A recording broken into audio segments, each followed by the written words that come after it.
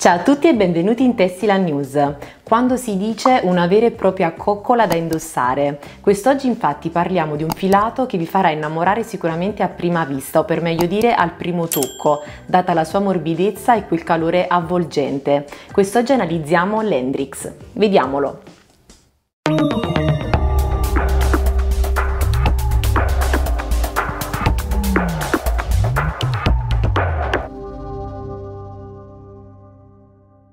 Eccolo qui il nostro Hendrix. Come potete notare si tratta di un gomitolo estremamente morbido, infatti è composto per il 9% da lana, il 9% viscosa, il 65% acrilico e il 17% poliammide. Si presenta quindi in un gomitolo di ben 50 grammi per una lunghezza di circa 125 metri. È consigliabile in questo caso, come potete notare quindi dalla sottigliezza del filo, un uncinetto 5-7 oppure ferri 6,5-7,5. Per quanto riguarda quindi i consigli per il lavaggio e il post lavaggio, in questo caso è consigliabile lavarlo a mano ad una temperatura che non superi i 30 gradi, quindi sempre consigliabile con sapone delicato in modo tale da preservare il capo appena realizzato. È possibile quindi poi stirarlo ad una temperatura che non superi i 110 gradi. Non è possibile utilizzare il tetracloretilene ad eccezione invece di tutti gli altri solventi non è possibile candeggiarlo e tantomeno apporlo in asciugatrice. Eccolo quindi nella variante verde e lo vediamo poi nella variante Bordeaux e Senape. Passiamo adesso a queste tre splendide colorazioni pastello, quali glicine, acqua e salmone. Analizziamo adesso il color cedro, rosso e salvia.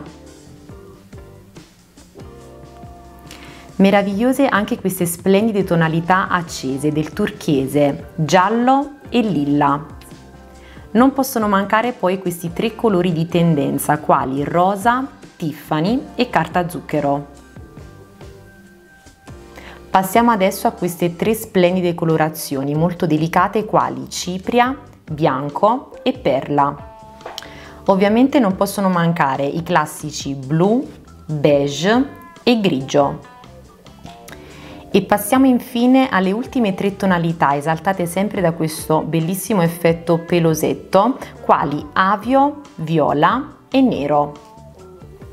Come avete visto la scelta nelle colorazioni non manca, così come quindi non mancherà l'ispirazione per questo splendido filato che si presta sicuramente per la realizzazione di quei capi destinati a quel periodo dell'anno un po' più freddo. La bellezza però di questo filato è che nonostante sia appunto caldo e avvolgente, allo stesso tempo non risulta essere pesante, ma anzi molto leggero nell'indosso e quindi sarà ideale anche per realizzare ad esempio quei capi come un maglioncino a collo alto che non andrà quindi a pizzicare sulla pelle ma eh, diventerà davvero molto piacevole così come ad esempio dei comodi poncho o anche pullover perché no anche scaldacollo così come maxi sciarponi che sono molto di tendenza e che vanno quindi anche ad arricchire il vostro outfit rendendolo super glamour. Come sempre io vi ringrazio per averci seguito, vi ricordo di iscrivervi al nostro canale YouTube di attivare la campanella per rimanere aggiornati su tutte le novità Tessiland e ci vediamo al prossimo articolo. Ciao!